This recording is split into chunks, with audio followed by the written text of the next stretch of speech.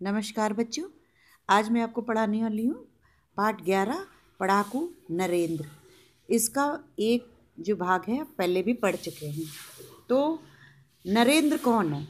नरेंद्र किसका नाम है? तो नरेंद्र नाम है विवेकानंद जी का। स्वामी विवेकानंद जो हमारे देश के विख्यात महापुरुषों में से एक हैं, उनके बारे में ये जो है पाठ था। अब इसमें नरेंद्र का जन्म भी बताया गया कि नरेंद्र किस, कब जन्म हुआ था? तो 12 जनवरी अट्ठारह में इनका जन्म हुआ था।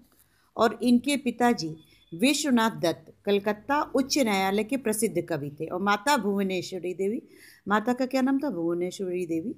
और ये धार्मिक विचारों की जो है महिला थी। तो इन्हीं की, दोनों लोगों की वजह से जो पिता और माता के जो सद्गुण थे, वो भी स्वामी विवेकानंद में आए। और उनका भी जो मन है, वो जो बुद्धि है उनकी, बहुत प्रखर बुद्धि के, वो महापुरुष हुए। उनको जो एक बात बात बता दी जाती थी, वो हमेशा के लिए उनके दिमाग पे बैठ जाती थी और वो हमेशा याद रहते, रखते थे। उनका जो नियमित रूप से वो क्या करते थे, शारीरिक व्यायाम करते थे, शरीर उनका बहुत सुडौल और सुंदर थे वे, संगीत प्रेमी भी थे वे। उनको जो भी एक बार देखता तो देखता ही रह जाता।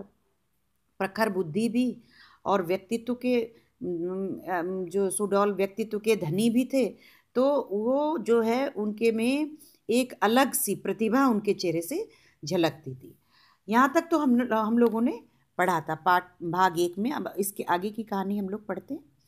कहानी सुनाने और भाषण कला में नरेंद्र बहुत प्रवीण थे।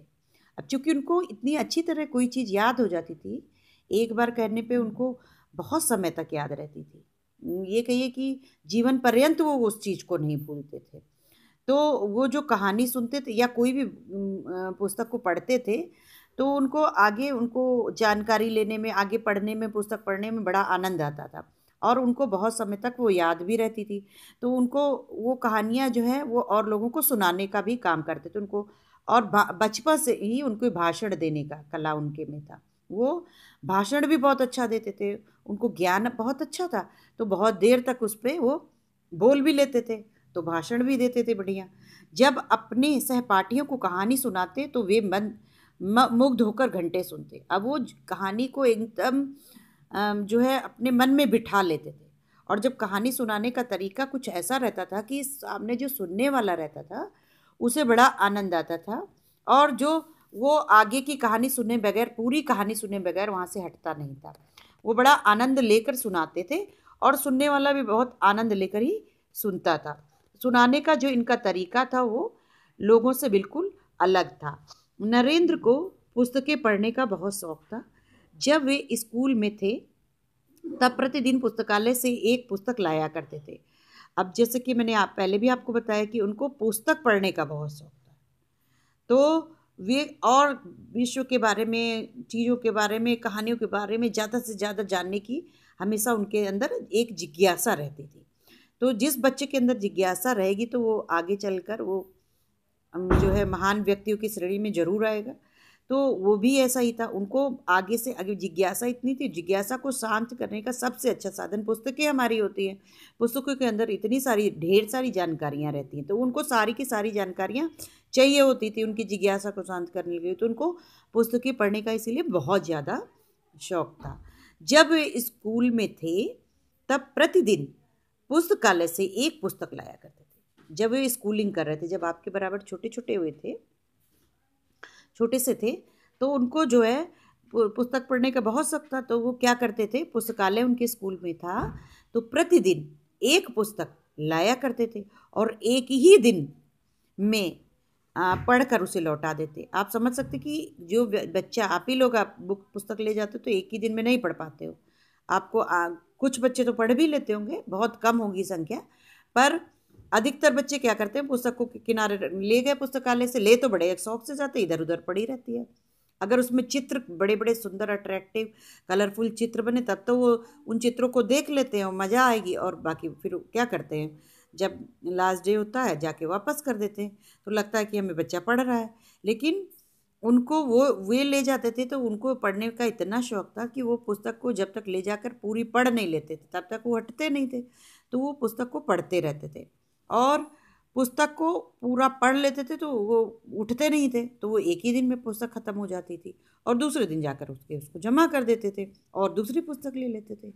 एक ही दिन में पढ़कर उसे लौटा देते थे। आप समझ सकते कि वो जब एक ही दिन में, वो किस तरह से लौटाते होंगे? एक ही दिन में पढ़ लेते होंगे, तभी तो लौटाते थे। और पुनः दूसरी पुस्तक ले आते थे और फिर जा कर के, क्योंकि उन्हें और जिज्ञासा अपनी शांत करनी रहती थी कि और हमें जानकारी चाहिए तो तुरंत दूसरी पुस्तक ले लेते थे। जब लगातार कुछ दिनों तक यही क्रम चलता रहा, तब पुस्तकालय के अधिकारी को बड़ा आश्चर्य हुआ। अच्छा जो बच्चा रोज़ जा रहा है, रोज़ पुस्तक बदल रहा है तो जो जो पुस्तकालय, जो लाइब्रेरियन होगा, वो भी सोचेगा कि अजीब बच्चा है ये। या तो कोई ये गलत काम कर रहा है, खेल रहा है, कैसे एक दिन में ये जो है पुस्तक लौटा रहा है? या दिखाने के लिए ऐसा कर रहा है कि एक एक ही दिन ले जाता, रोज़ फिर दूसरी ले जाता, रोज़ दूसरी ले जाता है? तो उन्हें बड़ा आश्चर्य हुआ। तो उन्होंने सोचा कि नरेंद्र पुस्तकें पढ़ता भी है या केवल पढ़ने के का ढोंग ही करता है। उन्हें लगा कि दिखाने के लिए तो नहीं पुस्तक ले जाता कि मैं बहुत पढ़ीस हूँ, लोगों की मैं अपनी छवि अच्छी बनाने के लिए ले जाता हूँ और पढ़ता ना हो और दूसरे दिन वापस कर देता है और उसको लगता हो कि टीचर्स या अध्यापक जो हैं उनके नज़र में अच्छा बनूँ। ऐसा तो नहीं कर रहा है कहीं। कुछ बच्चे ऐसा भी करने की कोशिश करते हैं तो उन्हें भी, उसने भी ऐसा लगा। उन्हें क्योंकि आश्चर्य हो रहा था कि ये जो बच्चा एक दिन ले जा रहा, दूसरे दिन वापस, फिर ले जा रहा, फिर अगले दिन वापस। तो ये कैसे कोई कर सकता है?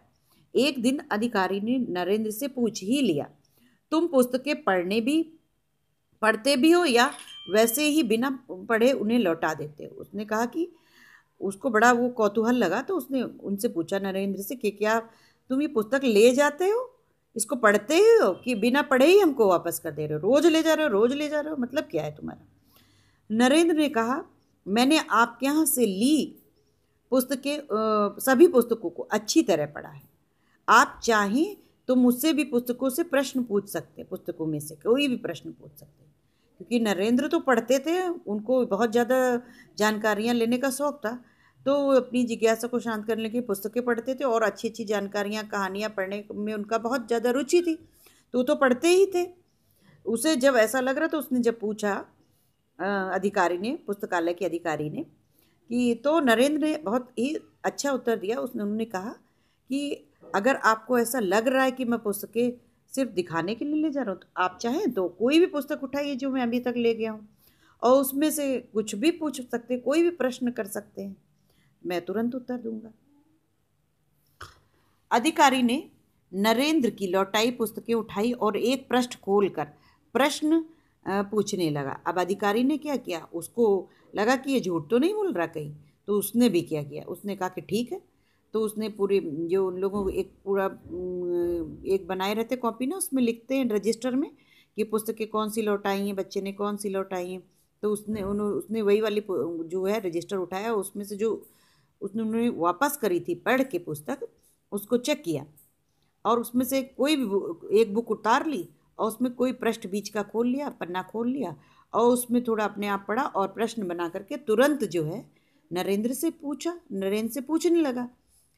नरेंद्र ने उनके सभी प्रश्नों का सही सही उत्तर दे दिया। अब नरेंद्र चूँकि पढ़ते ही थे तो उन्होंने एकदम सही सही उत्तर दे दिया। अपनी इसी आदत के कारण देश भ्रमण करते हुए उन्होंने भारतीय संस्कृति, धर्म, दर्शन तथा वद, वेद उपनिषदों का गहन अध्ययन किया। अब उनकी पढ़ने की जो इतनी आदत थी, उसके कारण उनको इतनी सारी जानकारियाँ विश्व की मिल गई थी जिसके आदत, इसी अच्छी आदत के कारण उन्होंने देश भ्रमण करते हुए उन्होंने उन चीज़ों को देखने का भी कौतूहल जागेगा जब पुस्तकों में आप पढ़ लेंगे, वहाँ पे ये है, यहाँ पे ऐसा है, ऐसा होता है तो आपको वहाँ वो चीज़ अपने सामने से देखने का मन भी करेगा। तो वो देश भ्रमण भी करते थे।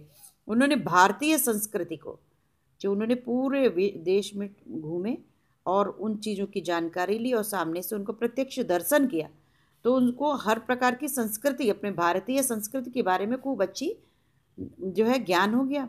तो वहाँ का, यहाँ का जो धर्म है, जो दर्शन है, जो यहाँ की उपनिषद उपनिषद हैं, उनका भी खूब अच्छी अच्छी तरह अध्ययन किया अपने जो भारतीयता थी, भारतीयता बहुत सारी हमारी जो है, इसमें जो है संस्कृति बहुत बड़ी और सुंदर संस्कृति है, जो भारतीय संस्कृति है। तो उसके बारे में जानकारी इन्होंने ली, फिर धर्म के बारे में जानकारी ली, फिर यहाँ का दर्शन, यहाँ सोचता कोई कैसा है, यहाँ के जो ओ ओ, वेद और उपनिषद हैं, उनको भी पुस्तकों के माध्यम से उन्होंने गहन उसका, खूब गहराई से अध्ययन किया, खूब अच्छी तरह उन पुस्तकों को पढ़ा। कश्मीर से लेकर कन्याकुमारी तक पूरे भारत को निकट से देखा, देश में फैली गरीबी को देखकर वे विचलित हो। अब ये उन्होंने जब इन सब का गहन अध्ययन किया तो उन्होंने पूरे भारत को भी बहुत जा जाकर देखा, हर क्षेत्र में गए। लेकिन जब वहाँ पे कुछ ऐसी चीज़ें थी, जो देखकर उन्हें बहुत कष्ट हुआ। धन्यवाद।